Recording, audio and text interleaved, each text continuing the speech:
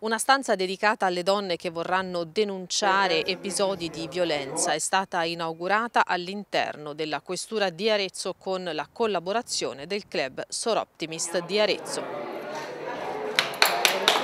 Si tratta di un luogo protetto realizzato all'interno delle caserme dei carabinieri o degli uffici di polizia, in questo caso dentro la questura di Arezzo, per accogliere e ascoltare le donne e incoraggiarle a rivolgersi alle forze dell'ordine in caso di violenza, abusi e sostenerle nel delicato momento della denuncia.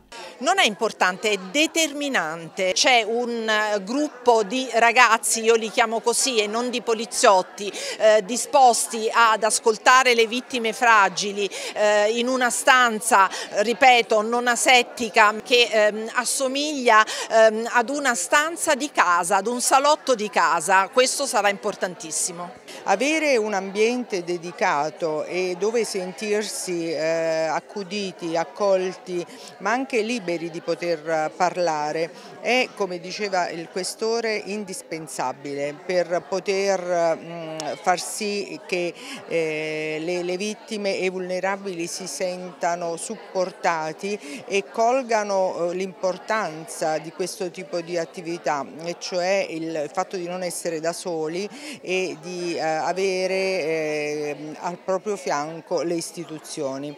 Il progetto Una stanza tutta per sé nasce a Torino nel 2014 per iniziativa del Club Soroptimist. Oggi in Italia ce ne sono oltre 200 a finanziare quella aretina, il club Soroptimist di Arezzo. Potrebbe sembrare una cosa negativa dire sono in aumento le denunce, invece è un fatto estremamente positivo perché noi abbiamo bisogno di fare emergere. L'idea nostra è, stata proprio quella di avvicinare, nel ehm, 2014 non, c'era tutta questa sensibilità, di avvicinare le donne, le vittime di violenza alle istituzioni, alle forze dell'ordine per fare emergere questi loro racconti. Perché spesso e volentieri ci dicono che dopo una prima denuncia alcune volte tornano indietro e vogliono cancellare tutto e questo noi non lo possiamo permettere perché giustamente da un amore che può essere tossico si arriva anche a delle situazioni non solo fisiche ma anche psicologiche.